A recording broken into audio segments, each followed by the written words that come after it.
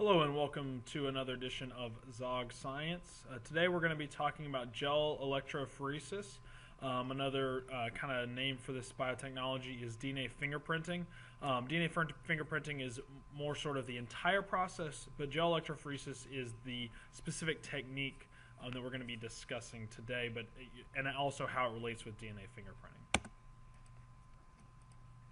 Uh, so, we've known about DNA and the structure of DNA for a long time. Uh, Watson and Crick published their paper in 1953.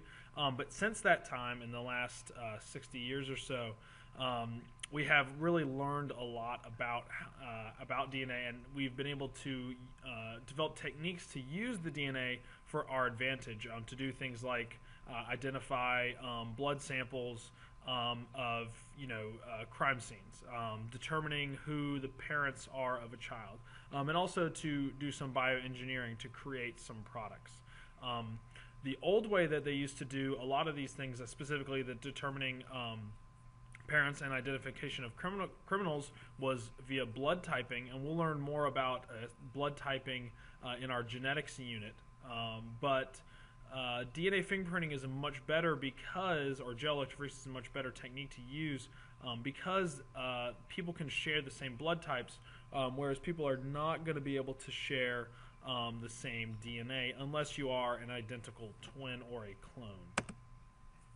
So, just some sort of uh, things to, to talk about first. Every person has a unique sequence of DNA, and we can use restriction enzymes um, to cut strands of DNA into pieces. And depending on which restriction enzymes we use, we're going to get different size pieces.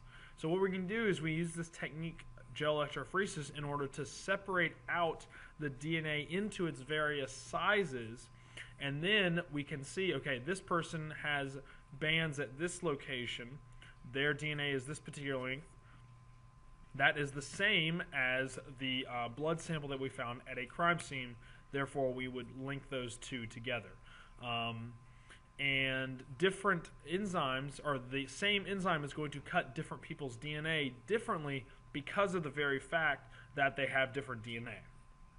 So let's kind of um, take a look at this process and see what it looks like.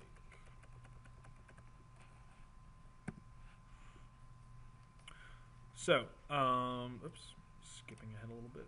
So, um, what we've done, all right, is that we've taken our restriction enzymes, we've put them into the same DNA samples, all right, um, and we've been able to create different strands of DNA, or sorry, different size links of DNA. So, what we do is we take our samples and we're going to place them into an agarose gel. The agarose gel is going to act like a maze, and it's going to um, allow the smaller fragments to move faster than the larger fragments because the small fragments have an easier time getting through the maze. We use what's called a micropipette um, that allows us to um, get very specific volumes, and we load these into what are called wells. So these are the various wells. And what's going to happen is that we've got a positive in and we've got a negative in. And that's very important because DNA is negatively charged. So if we take a look at a piece of DNA, right, you notice that on the outside of the sugar phosphate backbone that we've got these negatively charged oxygens, right? So we've got these negatively charged oxygens, and what happens is that because the DNA is loaded next to the negative side, that repels, right? The negative side is up here where the DNA started. That is going to repel the negatively charged DNA. Opposites are going to repel one another. So that's going to push it towards the positive side. Notice that the smaller DNA fragments are moving much faster. Again, that's because they are able to move through the maze more quickly. So um, this is kind of a, a, a band that allows us to see where the end of the line is. And whenever we're running a gel, we never want to run it off the edge. So always kind of stop before it gets off the edge. And what we get is that the various bands of DNA, their sizes, okay, they spread out. So notice that the largest size is up here next to the wells where we started, and then the smallest is farther away. And what we can do is we can then stain the DNA so that that way um, we can see where the bands are. We'll be using a blue stain um, when we do this lab in order to see them. So just kind of the short version. Um, DNA is negatively charged, so when we load them into the gel, the DNA samples are going to move from the negative to the positive. And again, the gel is a porous, and it's kind of like a uh, again, it's like a maze. Large fragments get stuck, and they can't move very quickly through the maze, whereas the small fragments are able to move much more quickly. So, how does this actually look in a practical sense? Well, what we can do is again, we use the same enzyme to cut up different DNA to get different fragments. And what happens is that people's uh, DNA separates out into these nice bands, and then we can compare between people. So if we're determining parents, we can take a look at a daughter's DNA, and each of her bands is going to come from one of the parents. If we have a daughter whose DNA comes from somewhere else, notice this band, right, does not have a corresponding one in the dad. It's a little bit different. That must mean that her parents are shared, right? So she's got um, she's got one a uh, couple bands from her mom, but not all of them. Uh, same thing with this son over here. This son has shares no bands with the parents, so therefore this son must be adopted. Right?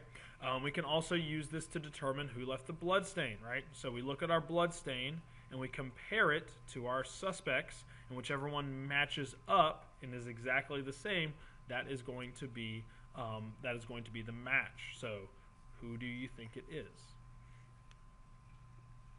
It's going to be John, right? If we take a look, right, each of these bands lines up with one another. Uh, we can do the same thing again, figuring out parents of a, let's say, a deceased soldier. They can't identify him. They can use the DNA of parents and figure it out. So who do we think it is? Who, who where where can he get all of the bands from? It's going to be, um, uh, in my estimation, parents um,